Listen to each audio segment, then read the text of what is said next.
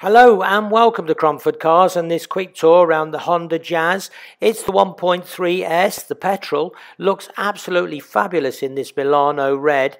Remember this car will come with a full service before you finally get the car and it doesn't need an MOT until September 2020. The interior specification is very smart, all finished in this two-tone charcoal and grey cloth upholstery. Very nice condition and very comfortable. The overall specification is superb with electric windows windows, electric door mirrors. We have the multifunction steering wheel housing the audio controls and the speed limiter and cruise control. There's controls for the onboard computer and of course the mobile phone.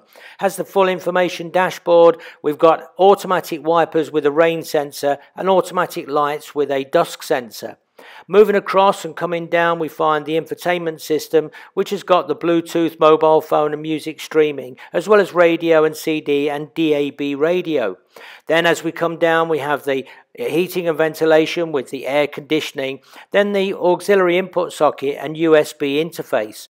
It's the six-speed manual and there's storage between the two seats for odds and ends.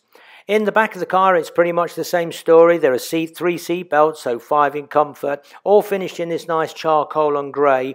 We've also got the ISOFIX child seat system, so even the youngsters are catered for as well.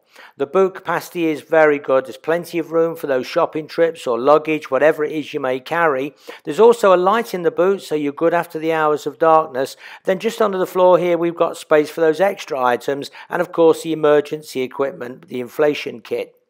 If you do need extra space though, just fold those rear seats down and the boot is absolutely cavernous. So if you are out and about buying yourself a new TV, you can certainly make room in the car to get it all home.